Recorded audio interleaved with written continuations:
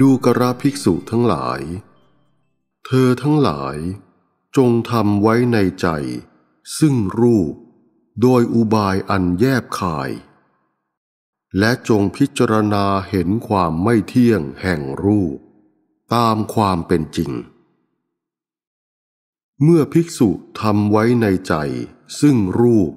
โดยอุบายอันแยบคายและพิจารณาเห็นความไม่เที่ยงแห่งรูป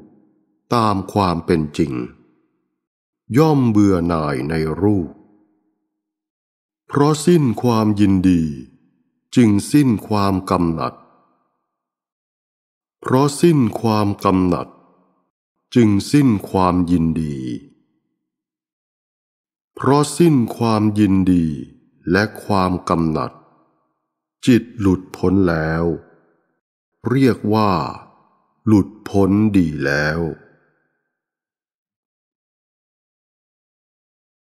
ดูกระภิกษุทั้งหลาย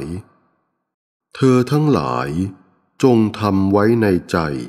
ซึ่งเวทนา โดยอุบายอันแยบคาย และจงพิจารณาเห็นความไม่เที่ยง แห่งเวทนาตามความเป็นจริง เมื่อภิกษุทำไว้ในใจ ซึ่งเวทนา โดยอุบายอันแยบคาย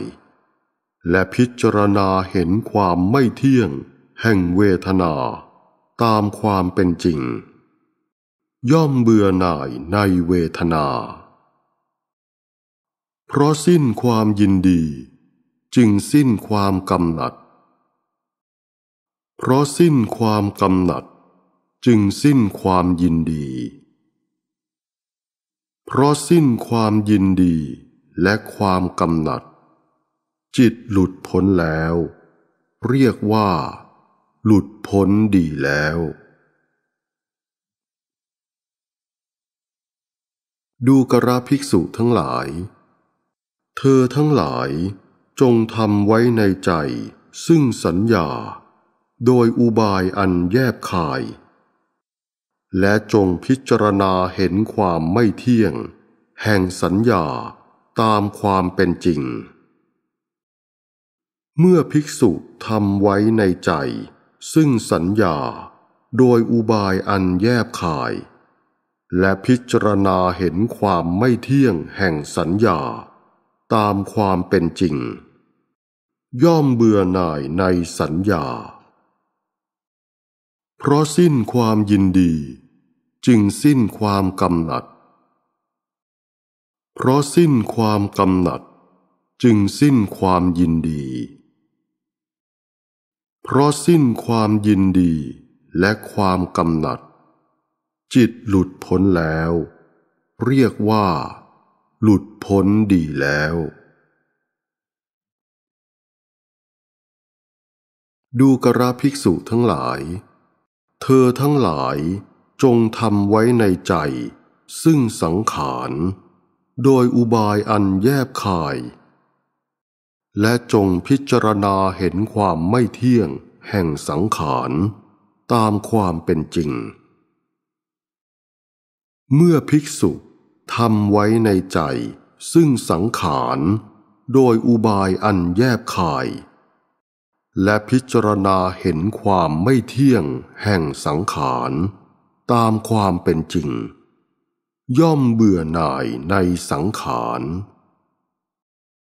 เพราะสิ้นความยินดี จึงสิ้นความกำหนัด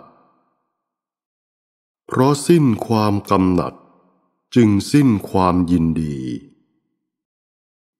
เพราะสิ้นความยินดีและความกำหนัด จิตหลุดพ้นแล้ว เรียกว่า หลุดพ้นดีแล้วดูกระภิกษุทั้งหลาย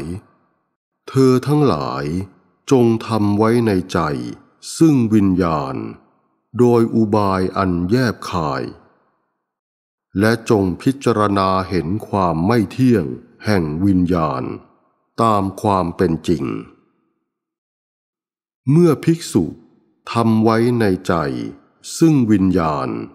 โดยอุบายอันแยบคาย และพิจารณาเห็นความไม่เที่ยง แห่งวิญญาณตามความเป็นจริง ย่อมเบื่อหน่ายในวิญญาณ เพราะสิ้นความยินดี จึงสิ้นความกำหนัด เพราะสิ้นความกำหนัด จึงสิ้นความยินดี เพราะสิ้นความยินดีและความกำหนัด จิตหลุดพ้นแล้ว เรียกว่า หลุดพ้นดีแล้ว